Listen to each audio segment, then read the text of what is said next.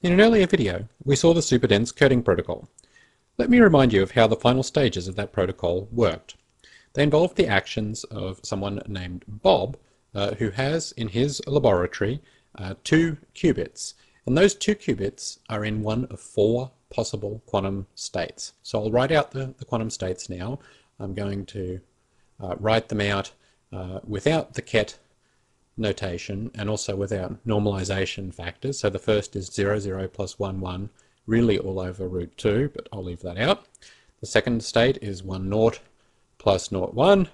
The third state is 0, 0 minus 1, 1, different from the first state. And the fourth state is 1, 0 minus 0, 1, again, different from uh, the second uh, state because of that minus sign.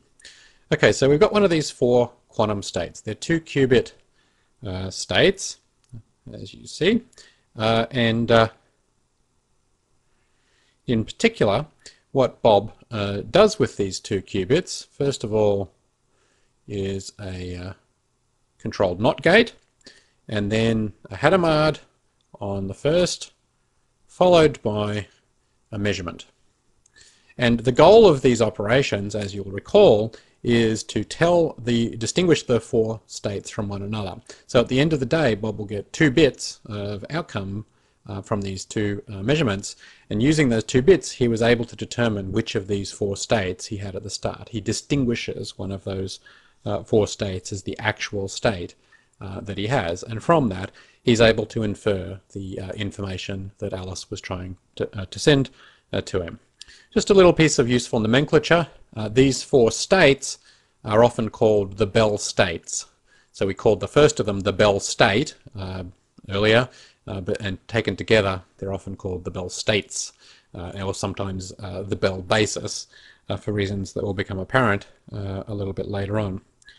Um, so there's a lot of detail in the circuit that we showed originally.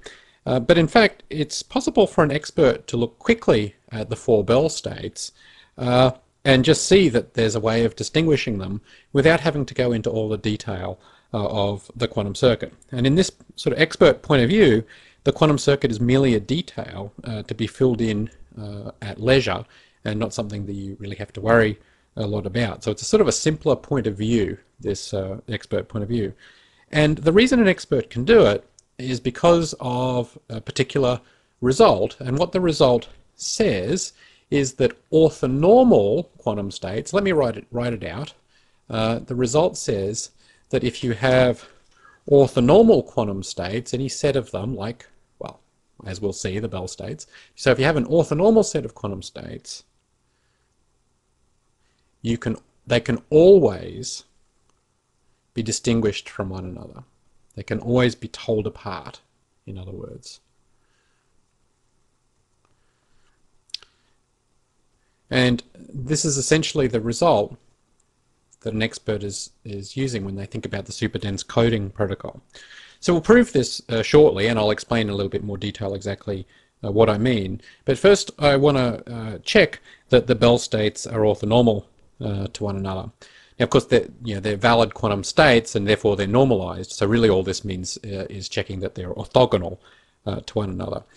So let's uh, check uh, the orthogonality of just two of them to one another. So let's say uh, the first state and the fourth, uh, sorry, the third state, I think it was. these two states. And it's perhaps easiest to do uh, in the column vector form. So we get a 1 here, uh, 0, 0 for the uh, other two computational basis states, and then a 1 for the final computational basis state. And this is a very similar sort of a vector, but we get a minus 1 over root 2 uh, as the final amplitude. And you can easily see, you can easily check um, that these two states are indeed orthogonal to one another. Uh, when you take their inner product, you know, this term times this term gives you 1 half, while this final term uh, gives you minus 1 half, and therefore uh, they cancel uh, one another out. Uh, the inner product uh, vanishes. So these are indeed orthogonal quantum states, and you can go through and in fact check that all four of the Bell states are mutually orthogonal uh, to one another. So this result is telling you that it is in you know, indeed possible uh, to distinguish the Bell states uh, in some way. And uh, that's why the uh, quantum computing expert uh, knows that it's possible to do that in the superdense coding protocol, even without seeing uh, the details of the circuit. So let's actually prove the result. just you know, for your convenience, I'll rewrite the result up on the screen um, so that you remember what we're proving. Orthonormal quantum states uh, can be distinguished from one another and let's prove it. It stands for proof. Um, so in particular, let's suppose that we've been given a set of states orthogonal to one another psi 0, psi 1, all the way down through, say, psi m minus 1. These are just labels. Um, and these are the orthonormal quantum states uh, that we want to distinguish from one another. So we've got m total states. Uh, and these are, as I say, they're just labels. So we're going to have to you know, come up with some procedure uh, for doing the distinguishing. And what we're going to do is we're going to define a unitary matrix that acts on this takes them to computational basis states, um, and then we're able to distinguish the computational basis states uh, using a, a, measurement in the computational basis, and thus actually distinguish these quantum states. So the first step of that is to define the appropriate unitary operation. And to do that, actually we need to introduce some extra structure into the space so we know how the unitary acts on the whole space, not just on these um, orthonormal quantum states, but elsewhere. So in particular, um, we'll actually extend this basis. This, so we're going to introduce extra orthonormal, which I won't write out, uh, in full states, and let's call them psi m, psi m plus 1, all the way down through psi 2 to the n minus 1. So I'm assuming that we're in an n qubit uh, space, uh, whatever the appropriate uh, dimension uh, is here. And we can introduce these using you know, the Gram-Schmidt process or whatever, any suitable process for finding an orthonormal uh, basis. And the details of what these states are actually don't matter at all.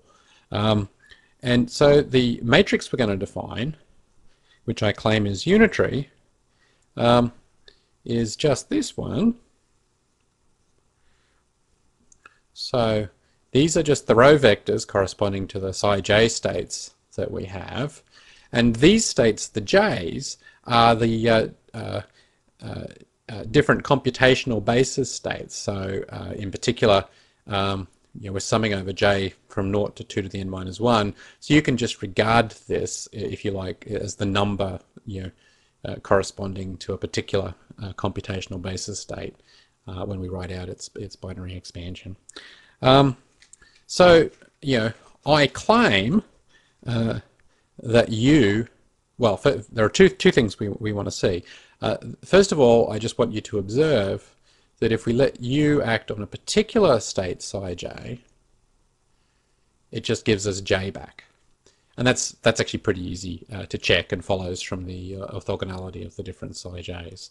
Um, so I won't go through the details of that, but you, you should be able to see that pretty easily at this stage. The other thing we need to check is that U is indeed a unitary operation.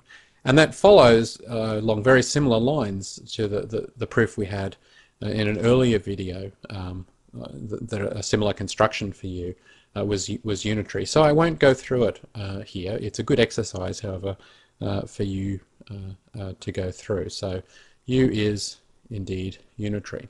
And so we see what happens. Uh, yeah, we, we have our starting state. It's one of these different, you know, psi 0, psi 1, or whatever. So let's imagine we start with psi j. We apply u. That takes us to the computational basis state j. Then by doing a measurement in the computational basis state, we can figure out the value of j, and thus which one of the original states we must have had. Okay, it's, it's really uh, uh, very simple. That's the process which is used uh, to do the distinguishing. And if you think about it, it's essentially this process which was being used back by Bob in the, in the lab. What he was doing, he had his four orthonormal states, he applied some unitary operation, and then he was able to tell them apart. That's, that's you know, the general structure uh, of uh, the proof. Okay, that really wraps up what I want to say uh, in this video. I will add just a little uh, coda. Um, it, it's too easy not to. Um, it's about a new notion of measurement. So we've been talking about measurement um, in the computational basis. I want to introduce a more general notion of measuring a quantum state in an orthonormal basis. So you remember you know, how we describe a measurement in the computational uh, basis.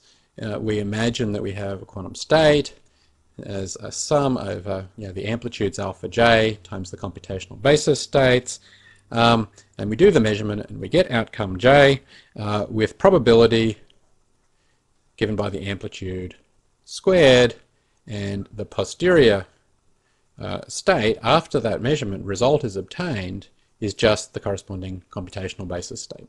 So what a measurement in an arbitrary uh, uh, uh, orthonormal basis is, so let's say in some basis uh, of orthonormal states psi j, uh, it, this is a new procedure, it's a new primitive which we're imagining, and so what we what we do is we imagine that because we, it's an orthonormal basis, we can expand any state psi uh, in terms of some linear combination of those basis states. These will be different coefficients uh, than before, of course, if, if this is for a general basis. And then what the, the measurement in that basis does is it gives us the outcome j with probability alpha j squared and posterior state psi j. So if you actually wanted to do this in practice, a way of doing it would be to take that unitary operation we had before, apply it to the state psi, so it changes all these psi j's into the j states, do the measurement in the computational basis state to get the outcome j with probability alpha j uh, squared, and then um, to apply the inverse unitary operation to get us, which is also unitary, apply that inverse unitary to get us back uh, to the uh, original state psi j. So that would actually be a way of using unitaries and computational basis measurements um, to effectively do uh, this operation. So this measurement in the psi j basis, in other words, can be broken down in terms of familiar uh, primitive operations that we already have. And this notion of measurement in an arbitrary basis uh, is actually an arbitrary orthonormal basis is actually a very useful one. Um, you know, that you can describe, you can sum up the end of the superdense coding protocol as just saying Bob does a measurement in the Bell basis. And what we're going to see when we look at teleportation is indeed, uh, again, we're doing measurements, in fact, in the same basis, in the Bell basis uh, again. So that's a nice way of thinking about it. Okay, so we'll, we'll revisit this notion again uh, in future videos.